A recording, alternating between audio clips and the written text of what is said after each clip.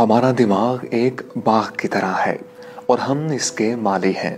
جس طرح باغ کی حفاظت کی جائے تو باغ نہ صرف خوبصورت دکھائی دیتا ہے، بلکہ اس میں پھول اور پھل بھی لگتے ہیں۔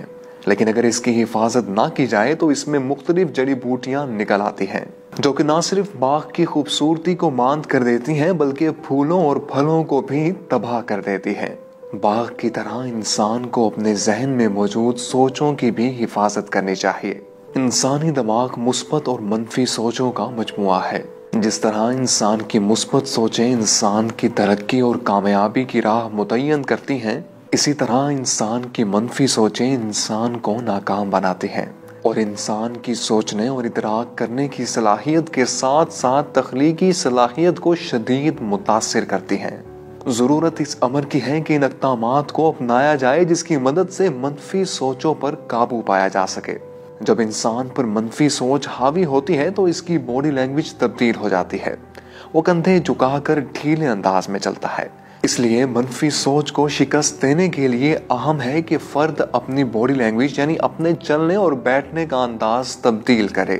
ماتھے پر بل ڈالنے کی بجائے مسکراہٹ کو اپنے چہرے کی زینت بنائیں۔ اپنے خیالات کا اظہار مناسب لب و لہجے کے ساتھ کریں۔ جب بھی منفی سوچ آپ پر حاوی ہونا شروع ہو تو اپنا ذہن فوراً ان کاموں کی طرف لگا لیں جو کہ آپ کو انرجی فراہم کرتے ہیں۔ لمبے اور گہرے سانس لیں اور کوشش کریں کہ یوگا کو اپنی زندگی کا حصہ بنا لیں۔